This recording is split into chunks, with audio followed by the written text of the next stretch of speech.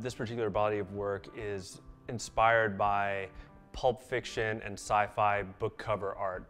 And so with the title of the show, Footprints on the Ceiling, sort of is sort of taking from that sort of genre. And most of the titles that I use for, for the actual paintings have these very ambiguous sort of titles that could, you know, allude to mysteries or some sort of sci-fi sort of idea.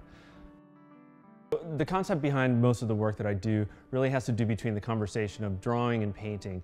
And so I'm creating an abstract painting done on a wooden background that serves as a surface that I can actually cut on.